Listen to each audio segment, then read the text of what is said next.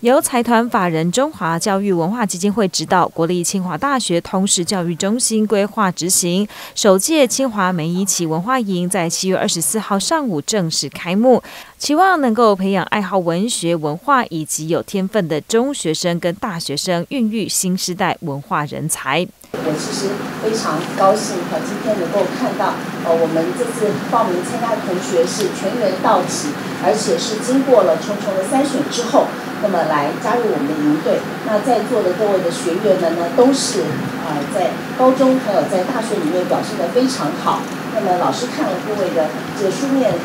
资料，真的发现说大家的这个呃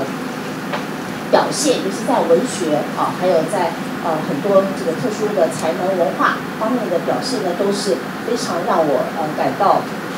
呃，惊惊惊讶的啊，在你们这样小小年纪里面，其实呢，都有了一些特殊的专长。那么还有呃，我们这次呢，特别要感谢就是中华文化教育基金会刘董事长还有王干事长这边的指导。那么这个整个所有的营队，其实是由中华教育基金会啊刘兆全刘董事长，他同时也是我们清华的前校长，所以我一直称呼刘董事长为呃刘校长啊。那么由他来呃指导我们举办这样子的一场有意义的活动。这次的课程邀请到的讲师都是在艺文界重量级的大师。首场演讲特别邀请到中华教育文化基金会董事长刘兆玄带来专题分享，让在场的同学收获满满。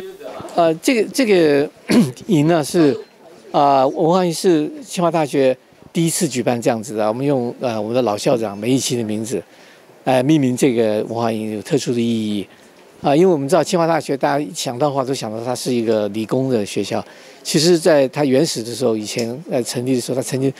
它有这个国学讲座啊，那个那个时候的四大讲座的，呃，在在国内是。呃，可以说前无前前前无古人后无来者，非非常棒的一个一个呃文文科方面的这个一个一个大学，所以这个传承到台湾呢，我们也希望能够继续下去啊。像现在我们有有人人文社会学院啊，这些都都，所以我们继续在往这个方向面努力啊。可是对于年轻的朋友们，我们非常希望借着这个暑假的这个时间办这样子的活动啊，让大家能够来，因为因为这个学校也很漂亮啊，这校校园非常好。哎，到这里来听一听一些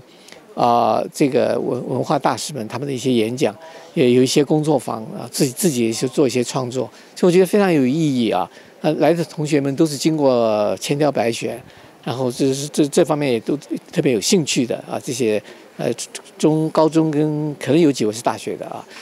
那么，呃，我觉得这是很很难得一个机会。清华梅贻琦文化营举办，秉持着梅校长上善若水的教育精神，参照当代的新理念跟新事业，以文化传承与转译作为主题，并以寻找中华文化的在地脚印作为活动目标，带领学子来一趟深度的文化之旅。记者简舒琪新竹采访报道。